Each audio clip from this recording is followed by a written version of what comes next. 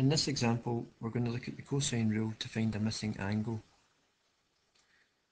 Now, in this question, to work out the missing angle, we require all three sides on the triangle.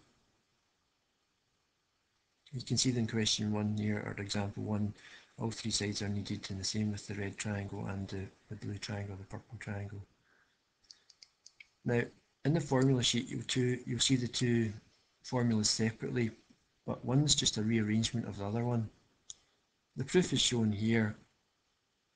I mean, feel free to have a look at it. You don't require to be able to regurgitate this proof in an exam. You won't have to do that, but that's just to show you where it comes from. It's basically rearranging this top formula to get the one below. So let's look at that in practice. Again, in the exam sheet, formula sheet, you'll see the formula using A's, B's and C's. You'll have to be able to use values on your triangle or letters on your triangle. For example, if it's P's, Q's and R's or D's, E's and F's. Again, the easiest way I find is to look at the A at the front and you get an A at the back and the BCs are in the middle.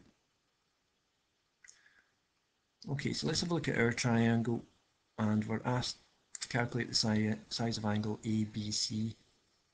Now that means the angle at B because B is in the centre here, so we're really looking at this angle.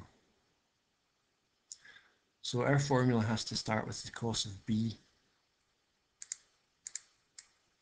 So cos of B equals, so in the formula sheet you've got an A at the start and an A at the end, so we want a B at the end, or a B squared at the end.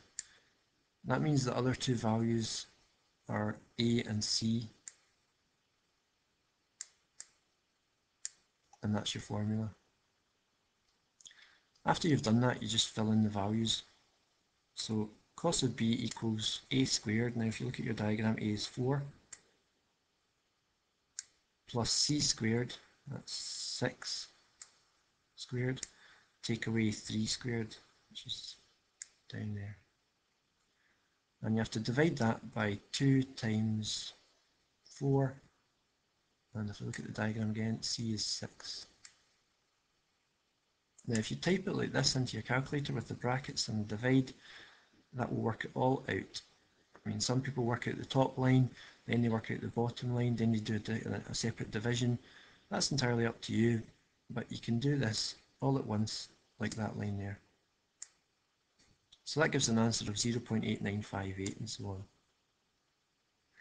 Now to undo cos, you inverse cos to work out the angle. This is not the angle. Some people leave this answer 0.8958. That angle is not 0.89 degrees. So inverse cos.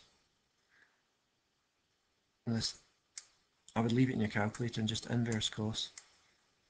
And you get 26.4 degrees and again, because you've done Unit 3, you should know there's a second solution if you subtract from 360, but we don't need to include that because you would never get an angle on this triangle of 300 and something degrees.